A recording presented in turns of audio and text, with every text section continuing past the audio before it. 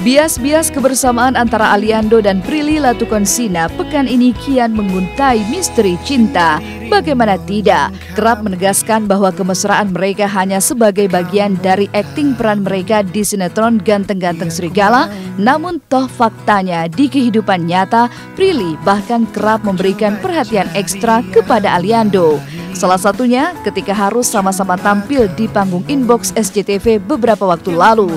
Prilly bahkan khusus mengalah mengatur jadwal dengan kru di lokasi syuting, memastikan agar Aliando bisa mendapatkan jatah istirahat dan tidur sehingga tampil prima di panggung inbox.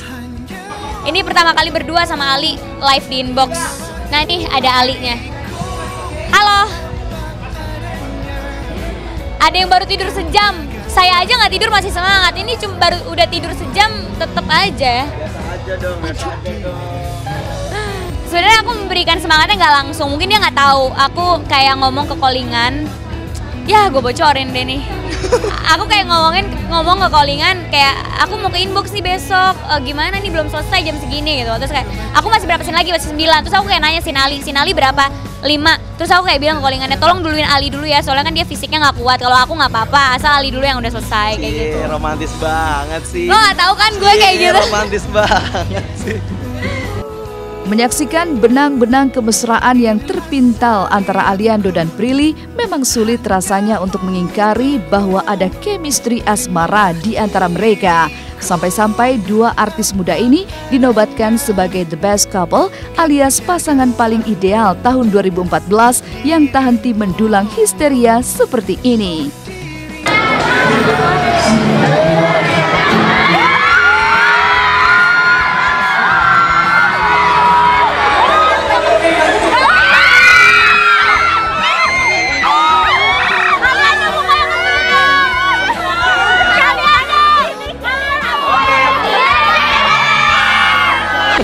Nggak nyangka ya bakalan antusias kayak itu ngeliat kita pelukan. Apa? Karena nggak diper, dipeluk. Apa karena mungkin mereka pasti jomblo jadi oh yang punya pacar gitu Jonas ya punya pacar jadi ngeliat kita pelukan kayak. Ah, semoga Mamen, semoga semoga dari kita berdua ada motivasi ya. Ya Ya. Kita juga nggak kepikiran kayak orang-orang bakalan mikir kalau kita adalah pasangan yang apalah best couple 2014 atau kita nggak kepikiran sampai kepikiran sampai situ. Kita kepikiran cuma kayak oke okay, kita bangun chemistry, kita bagus aja di pasangan totalitas, ya? totalitas tapi tiba-tiba kayak semua orang jadi terbawa ya.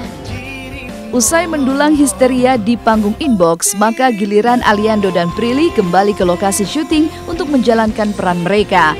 Tapi justru di lokasi inilah lagi-lagi batas hubungan pertemanan antara Prilly dengan Aliando mengundang pertanyaan.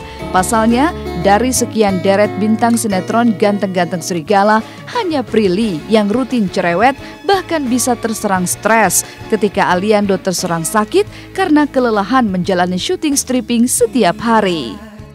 Kayak kalau dia sakit aku yang stres jadi kayak ya lo minum apa kayak minum vitamin C apa gue sakit dia stres. banget sih lo.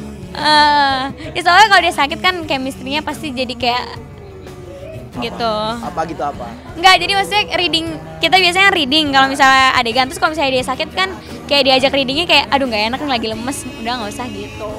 Gua belajar sama Prilly. Gue belajar banyak. Dia kalau di sekolah, eh kalau di sekolah, kalau di kalau di lokasi dia diem. Paling ramenya lah sambil duduk. Kalau gua kan enggak. Ramenya sambil loncat-loncat. Gua loncat-loncat. Kadang ke tim satu, kadang ke tim dua. Dan di situ gua nggak tahu kalau misalnya tenaga gue udah di forsir. Ya, di lokasi syuting, Aliando memang terkenal lincah dan jahil mengerjai sesama pemain sinetron ganteng-ganteng serigala. Pemandangan seperti inilah yang ditemui oleh tim Was-Was. Pasca syuting, Ali terlihat beraksi menggoda mantan artis cilik Sisio yang kabarnya tengah mendekati Michelle Johan. Tapi alih-alih sukses, Aliando justru balik diinterogasi oleh Shishio dan Michelle tentang jalinan hubungannya dengan Prilly yang konon berubah dari teman jadi demen alias saling suka. Segera saja sesi interogasi ringan ini mengundang kehebohan karena rekan mereka pun dikulik rasa penasaran yang sama. Pak, dengar-dengar katanya pulang bareng. Kan rumahnya Sarah, Pak. Iya, iya Pak. Sarah. Oh, katanya Sarah tapi pas lagi Sarah nanya dulu kamu lapar nggak Yoi nggak? Yoi nggak? Apaan? Ya lapar makan lali. Yoi. Saya lo kenapa nggak pulang? Nanti capek tiap hari kerjaannya sibuk. Habis itu tadi pagi mau itu inbox. Masa masa nggak langsung pulang kan di rumah enak bisa tidur. Kenapa harus nungguin di sini? Apalagi rumah lo nggak Sarah, rumah Prilly deket rumah gua, Tangerang. Rumah lo di Bekasi. Eh, ini lagi lu. Sih berdua eh kita sih berdua searah ya Bintaro BSD. Ah. Ini satu Bekasi, satu Tangerang. Ujung ke ujung ditungguin. Perlu gue nyanyiin gak? Pak temanya lu, Pak. Jatuh cinta ini yang namanya bila sedang jatuh cinta. Itu buat Prilly khusus buat Aliando soalnya nyanyinya berdua terus di pojokan. Gitu. Eh iya kayak gitu doang sebagai temen. Misalnya Cio sama Kamisel itu suka, suka, tapi Suka. sebagai teman apa sebagai apa gitu. Iya, nah itu dia. Tonton terus Ganteng-ganteng Serigala setiap hari jam 19.45 hanya di SCTV. Satu untuk semua.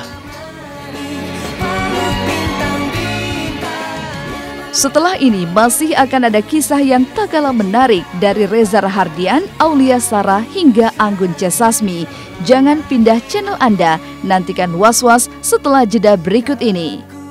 Saya termasuk yang percaya di mana ada cinta di ada Tuhan.